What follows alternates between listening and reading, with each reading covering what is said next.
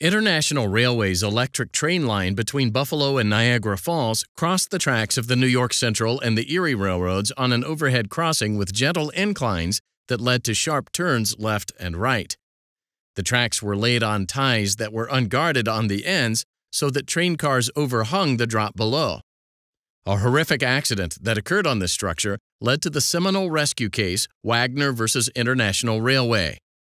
Arthur Wagner and his cousin Herbert boarded International's train just before this overhead crossing. The train was crowded, and they had to stand on the platform outside the car. The platform had doors, but the conductor didn't close them. The train went around the first curve of the crossing without slowing down. Near the start of the bridge, there was a violent lurch, and Herbert was thrown off. There were cries of, Man overboard! The train proceeded across the bridge and stopped near the foot of the incline on the other side. Night had fallen. Wagner and the conductor and several others got out of the train to search for Herbert's body. Wagner climbed up on the bridge and discovered Herbert's hat sitting on a beam. Then, in the darkness, he missed his footing and fell to the ground below, landing where the other searchers had just found Herbert's body.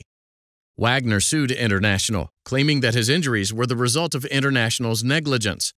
Wagner claimed that the conductor asked him to walk along the trestle and up the bridge and accompanied him with a lantern. The conductor denied both of these things. The trial court instructed the jury that, regardless of the railroad's negligence toward Herbert, it shouldn't find International liable for Wagner's injuries unless the conductor had invited Wagner to go onto the bridge and had followed him with a light. The jury found for International, and the trial court directed a verdict for International. The appellate division affirmed. Wagner appealed to the New York Court of Appeals, arguing that the limitations in the jury instructions were incorrect.